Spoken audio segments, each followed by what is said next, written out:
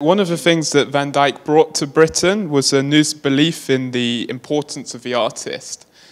So, and Charles I recognized this by uh, knighting him. So he became a celebrity artist in his day. This painting here uh, could have, it's a self-portrait and it could have been a commission. So it showed that people actually wanted pictures of Van Dyck. Um, and I, in comparison, the only person I can think who would pay for a picture of me is maybe my mum. So he was definitely a celebrity. He was more than an artist. He managed to empower the sitter. He created these elegant paintings where he, he sort of created this uh, blue-blooded nobility that otherwise hasn't really been seen in portraiture.